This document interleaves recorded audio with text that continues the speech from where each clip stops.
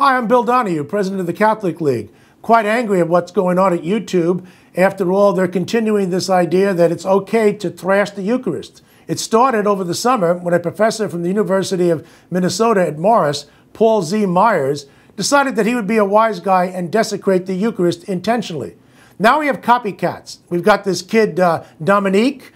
Evidently, he decides he goes by FSM Dude, and he's out there now with all kinds of examples of desecrating the Eucharist. He thinks it's kind of fun.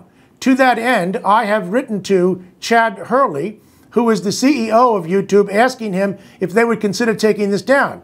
I didn't hear anything from him in a week, so I called him. And again, no answer.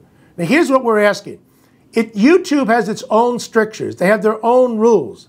They say they will not post anything which is declared hate speech. And they do list religion as an example. They also say that they are not going to post videos which are done for the sake of shock value. Well, come on, people. That's exactly what this is.